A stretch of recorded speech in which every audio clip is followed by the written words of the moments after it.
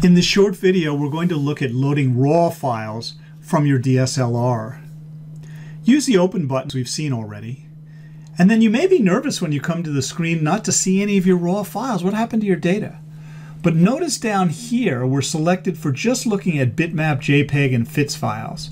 So in order to see our RAW files that may have any extension, we select the asterisk there, select our file, and there you can see it loaded. So it's that simple to do.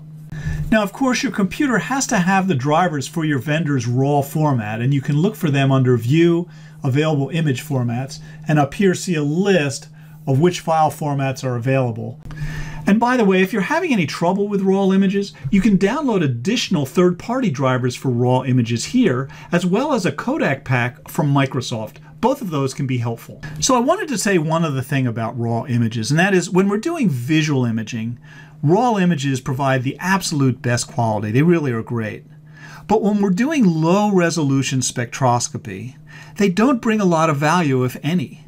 And in fact, they're bulky and slow. So my suggestion is start out with just standard JPEGs or some other common format from your camera. And then if sometime in the future you decide that you need the RAW images for spectroscopy, you can begin using them then.